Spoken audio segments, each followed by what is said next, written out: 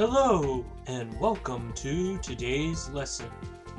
Today, we're going to learn about initiative. Initiative means going the extra mile to do a great job. It means looking for ways to go above and beyond what was asked of you so you can do the best job you can do. For example, let's say you're doing a group project in your class.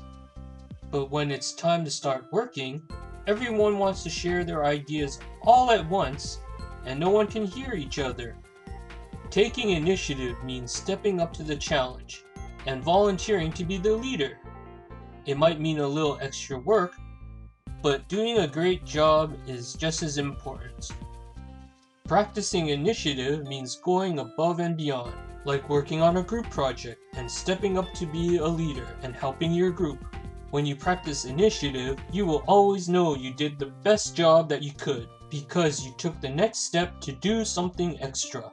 That's the power of initiative. Now, here's your challenge. How can you practice initiative as an individual, in your classroom, and as part of your school? Good luck in your challenge, and good luck practicing initiative. Remember, initiative means going the extra mile to do a great job.